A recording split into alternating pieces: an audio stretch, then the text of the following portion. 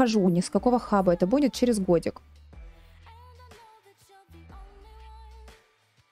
Спишь, приходит Дэвид и начинается.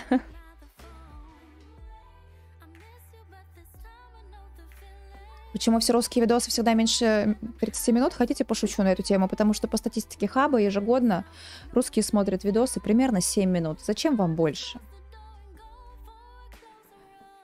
7-9 минут, по-моему.